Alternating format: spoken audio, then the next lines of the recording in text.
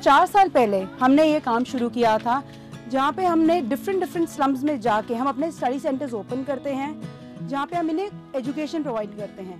और उसी के साथ साथ हम इनकी बेसिक नीड्स की भी ख्याल रखते हैं। हम इन बच्चों में एजुकेशन के थ्रू चेंज लाना चाहते हैं क्योंकि हमें और हमारी पूरी टीम को ये लगता है कि एजुकेशन ही ऐसा मीडियम है जिसके थ्रू हम इनके लाइफ में एक लॉन्ग टर्म बेसिस पे चेंज ला सकते हैं।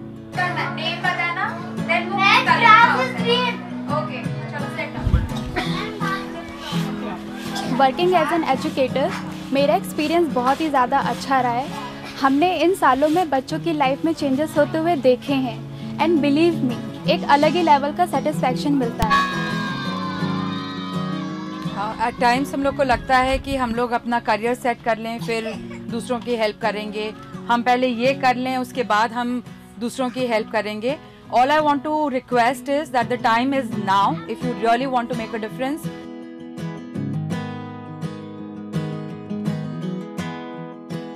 पिछले चार साल में जिन्होंने साथ में काम किया है और जिस तरह से वो बच्चों के साथ इन्वॉल्व हुए हैं, इतना इनक्रेजिंग है।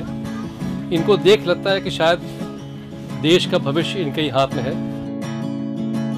These are a young group of individuals taken on themselves to make a difference to the society and I believe that is why people should support Sarthak